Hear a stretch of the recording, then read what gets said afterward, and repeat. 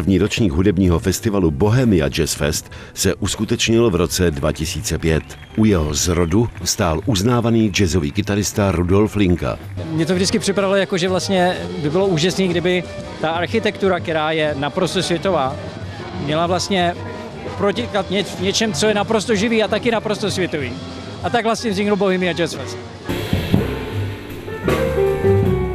Bohemia Jazz Fest je setkáním výborných jazzových hudebníků z celého světa. Vždy se na něj těší a přijíždí jich stále víc. Počet jejich příznivců také rok od roku narůstá. Bohemia Jazzový festival je pre mňa udalosť e, československého jazzu, pretože a vôbec všetkých festivalov, festivalov, ktorí sa dejú v Československu, je to, patrí to mezi najlepší festival. Všem se Praha líbí. Tam je vlastně problém, že všichni chtějí hrát v Praze. Jako co dělá Prahu nebo vůbec Česko, Českém, je to úžasné obecenstvo. Tady je úžasné obecenstvo. Lidi jsou z toho nadšený.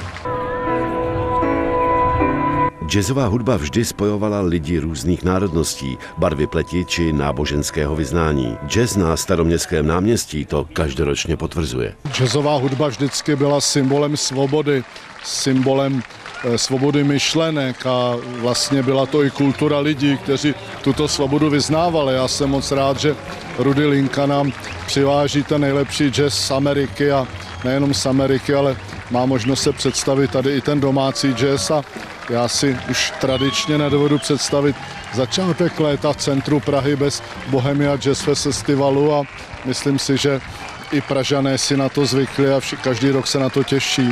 Vrcholným zážitkem letošního 13. ročníku Bohemia Jazz Festu bylo vystoupení tria Oto Hejnice, nezaměnitelný zvuk kytary Rudyho Linky nebo jazzová sóla polského trumpetisty Maceje Fortuny.